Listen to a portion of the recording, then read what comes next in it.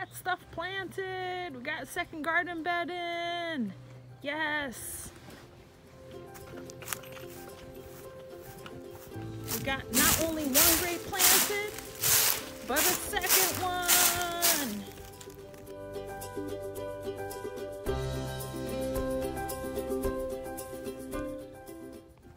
Hi, I'm Melissa from Amethyst Food Forest, and we're gonna be getting our garden edging started and building our grape trellises. Oh yeah, we're also gonna build a fire pit and have s'mores tonight. We're gonna build our grape trellis right now. I found some cattle panels out on the property. Um, they are a little rusty, but they will do. Picked up a few permanent stakes. And then we have a dilapidated fence on our property. I just cut some wire from there.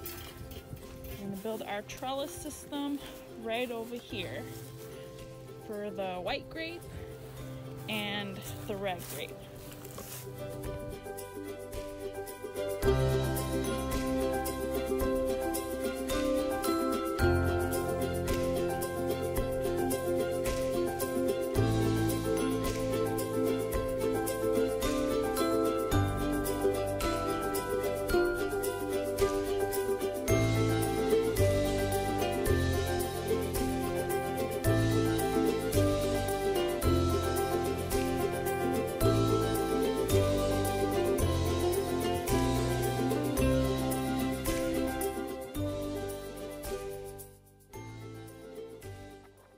Thanks for the help, Andrew. No problem. That's what I'm here for. Let's go tie up the grapes now. I'm gonna tie the grapes so that they form like the permanent position of their trunk. So I just gotta kind of bend them and figure out how I want that permanent trunk to form.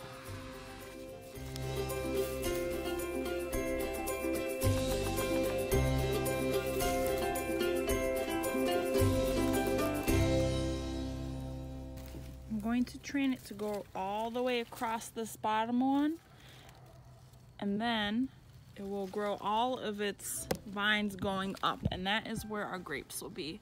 And of course I'm going to trim it off from the top so that it doesn't get so big.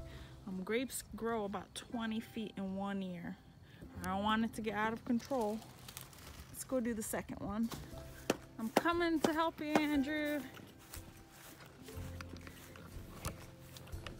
We did the second bed yesterday. It was at the end of the day, so we got a little tired. We're gonna finish up by making the edging of this bed from this dilapidated fence over here.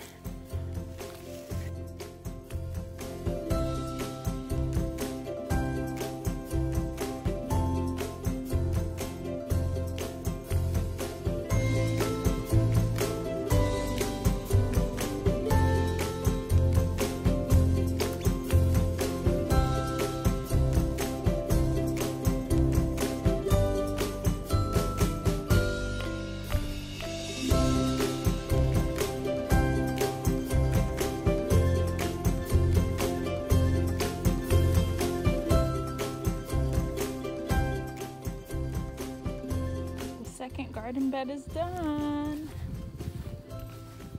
Not sure what we're gonna plant in here, but I do have a bunch of perennials that are ready to pop in the ground. We're supposed to get some rain tomorrow, so maybe tomorrow will be a good day for that.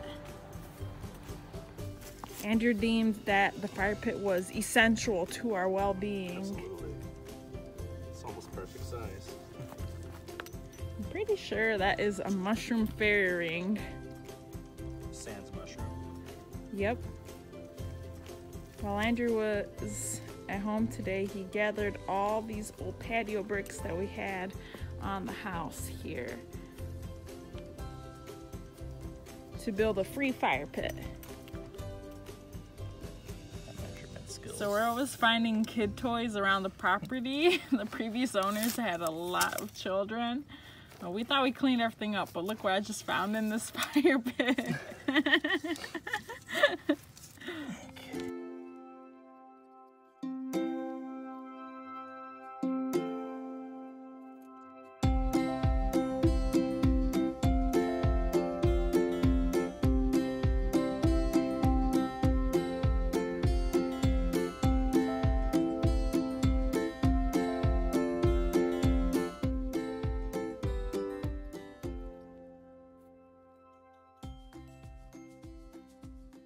these little guys.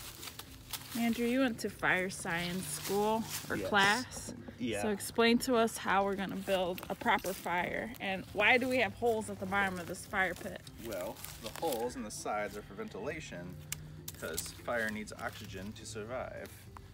All fire is is a reaction, chemical reaction with oxygen by definition.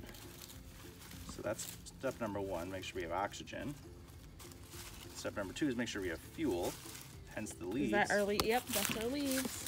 And with fuel, the key thing is small sticks on bottom, and then you build outwards to bigger sticks. You're gonna build a teepee with the little sticks, huh? First we do, yep, then we do it layered. Not having much luck right now, but luckily we got all these leaves to help out here. Well, let me lend you a hand.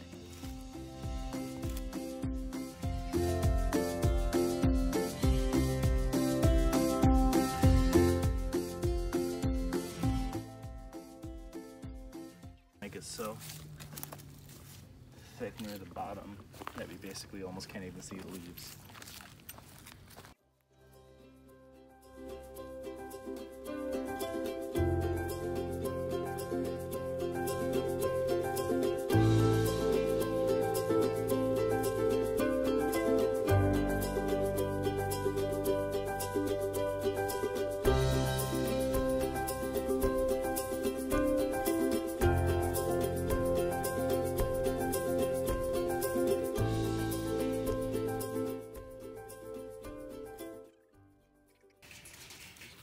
Starting to look like a teepee of branches, Andrew. It's more like just a big pile of tinder to me, but it'll get Yes.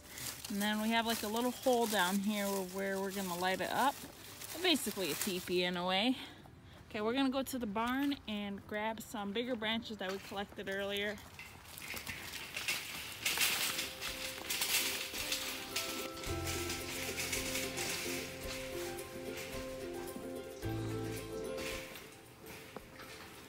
Quite sure what we're gonna do with the barn yet. Maybe we'll convert it into a coop, but right now we're just using it for sticks.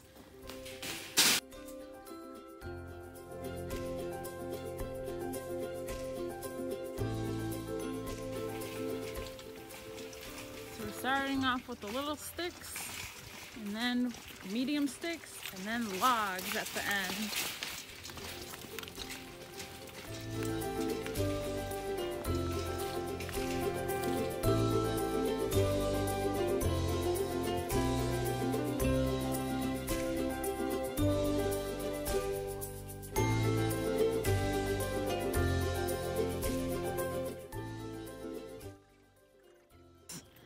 Want s'mores, Andrew. I know. paninis. Hey, we got a new hose, by the way. Remember my last video, saying I didn't have a water hose? Picked up a nice heavy duty one. I better last a few years. The Fire Master is making it burn.